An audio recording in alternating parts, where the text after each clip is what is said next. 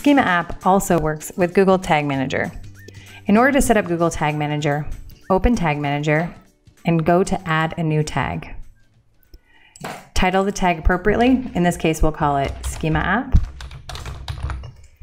And then go ahead and add the first tag.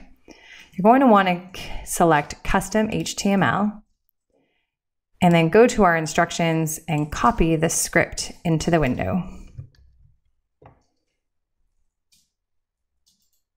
You're to then go ahead and paste it in, select support document.write, and click on save. Uh, it goes ahead and asks you no trigger selected. Go ahead and add a trigger. And you're going to select all pages. Go ahead and click save, and you're done.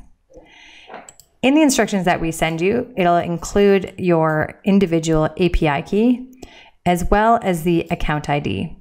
If you're using this on a sub account, your account ID will be the, the ending of the sub account. So, for example, Martha's Dare forward slash client. Let me show you what that looks like in Schema app. So, if you go under sub accounts, you'll see that if I select Van Berkel Elevators,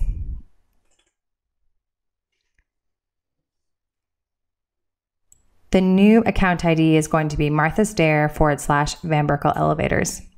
And so if you're using Google Tag Managers for Van Berkel Elevators, you would go ahead and make sure that that's included in the code under account ID.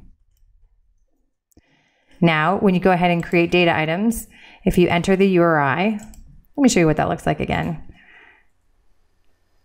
For the page, it'll go ahead and deploy automatically with Google Tag Manager. The URI can be found when you first create the instance here, and it's usually the URL of the page. So here I'm going to just go ahead and type in the Martha Corporation. And this is what Google Tag Manager will use to identify what JSON-LD code is to go on the page based on what I specify here. Now, if you've gone ahead and already added the data item, you can edit the URI by clicking on Actions and Change URI.